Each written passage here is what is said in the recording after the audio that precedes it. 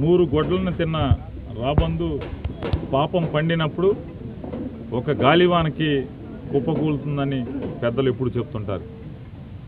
అలా ఇన్నాళ్ళు రాష్ట్ర ప్రజల యొక్క బాధ్యత గల పదవిలో ఉండి ప్రజల పన్నులు కట్టినటువంటి ప్రజాధనాన్ని కైంకర్యం చేసి ఇన్నాళ్ళు నీతులు చెప్పి ఎన్నో కేసులు ఉన్నప్పటికీ అన్ని కేసుల మీద తనకున్నటువంటి పరపతితో స్టేలు తెచ్చుకుని సంవత్సరాల తలబడి స్టే తరబడి స్టేల మీద కొనసాగుతున్నటువంటి చంద్రబాబు నాయుడు గారి పాపం పండింది ఈరోజుకి చంద్రబాబు నాయుడు గారి దగ్గర ఐదు సంవత్సరాలు పిఏగా పనిచేసినటువంటి ఒక వ్యక్తి దగ్గర నిన్న రెండు వేల కోట్ల రూపాయల అక్రమ ధనాన్ని ఇవాళ చేతులు మారిన పరిస్థితుల్ని బ్యాంకు లెక్కల్ని కూడా ఇన్కమ్ ట్యాక్స్ అధికారులు ధృవీకరించి పట్టుకోవడం జరిగింది. ఈ డబ్బులు ఎక్కడి నుంచి అతని దగ్గరికి వచ్చినాయి అంటే ప్రతి ఊర్లో కూడా ప్రతి మున్సిపాలిటీలో కూడా అపార్ట్మెంట్ల పేరు మీద కడుతున్నటువంటి అపార్ట్మెంట్లు వాస్తవంగా అది కడతాకి వెయ్యి రూపాయల నుంచి చదరపొడికి పదకొండు పదకొండు వందల రూపాయలు అయ్యేదాన్ని ప్రజల డబ్బుని రెండు వేల నాలుగు చదరపడుక్కి రెండు వేల నాలుగు వందల రూపాయలకి ఆ కాంట్రాక్టర్కి ఇచ్చి ఆ కాంట్రాక్టర్ కంపెనీ నుంచి కూడా వీళ్ళ పిఏ అకౌంట్లోకి డబ్బులు వస్తే ఆ డబ్బులు మరి ఎవరు తీసుకున్నారు?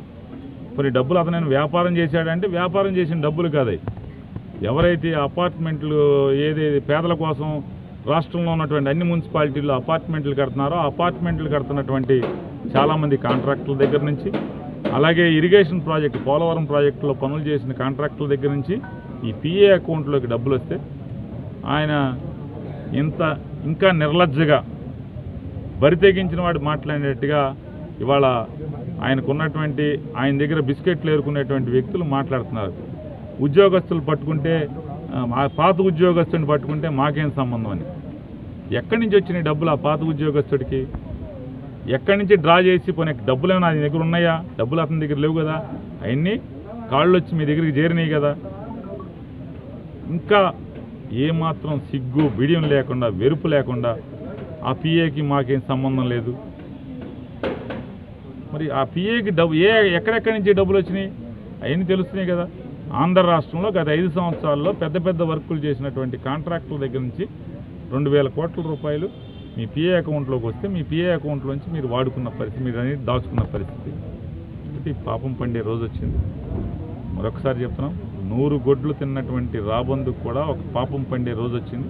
ఆ పాపం పండిన రోజు చంద్రబాబు నాయుడు గారి పాపం పండిన రోజు ఈ రోజుకి వచ్చింది. ఖచ్చితంగా ఇది రెండు వేలతో కోట్లతో ఆగేది కాదు. ఇంకా పెద్ద స్థాయిలో ఉంటుంది. కాబట్టి ఇంత దుర్మార్గాలు ఇన్ని- ఈ రకమైన ఇంత పెద్ద ఎత్తున అవినీతి పరుడు భారతదేశంలో మనకి ఎవరు దొరకదు కాబట్టి ఇప్పటికైనా తప్పు తెలుసుకుని ప్రజల్ని క్షమాపణ కోరాల్సిందిగా డిమాండ్ చేస్తాను Hi, this is Trisha. I'm Radhika Apte. వస్తాను కృష్ణమూర్తి నేను ఆలీ మాట్లాడుతున్నాను You're watching E3 Media Network. E three media network E three media network E3 Media Network. E3 means entertainment entertainment, entertainment.